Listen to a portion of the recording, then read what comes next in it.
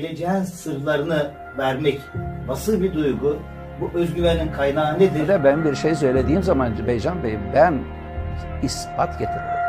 E, Armageddon bütün dünyada savaşmayacak, devlet kalmayacak ve hepsi Orta Doğu'ya gelecek diyor. Gerçek İsrailoğulları bütün peygamberlere inanan ve arkasında duran ve Hazreti Musa, Hazreti Muhammed gittikten sonra arkasında vasi, imam ve halife bırakan kişilere beraber olan bunlar gerçek İslam'dır, gerçek İsrailoğullarıdır. Ama Allah adına adam kesecek, kızlara kadınlara tecavüz edecek, kadınları kızları pazarda satacak, bunun ne İslam'la alakası var, ne İsrailoğulları alakası var. Gerçek İsrailoğulları, Hazreti Yuşa'nın adamları, şimdiki Hazreti Ali'nin adamları gibi.